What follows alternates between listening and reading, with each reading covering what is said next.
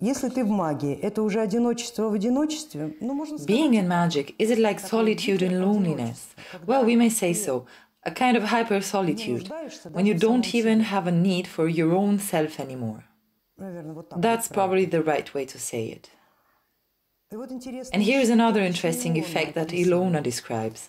I've noticed a sensation that everything is small and uninteresting, as if all the old programs are operating along the old tracks and I don't see any new ones. There is nothing offered that I would like to choose from in this worldly supermarket. There's nothing interesting, but I don't see anything new. I can see it here, I can see it there, I can see it anywhere. And everything is rather well, actually. The former me would have been envious, but I'm not well. It's like I reached a dead end of a labyrinth and I don't see a way out. I'm asking for advice or for assistance in helping me understanding my situation. Yours isn't a situation, it is a state.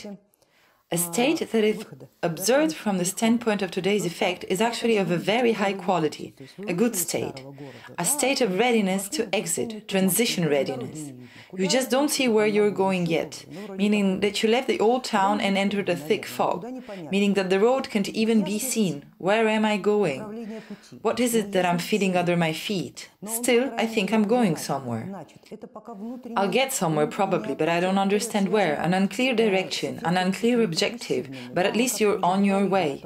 For now, it is like an inner apathy combined with some depressive effects indeed. We've already said at some point that depressive effects are in fact fact the effects of transition from one level to another, from one operating system to another. Try to look at this situation exactly from this point of view. In no case should you lower yourself down to self pity, or at least not more than five minutes when nobody's watching. It is a quite high quality state if you use it correctly because you don't regret anything that is left behind.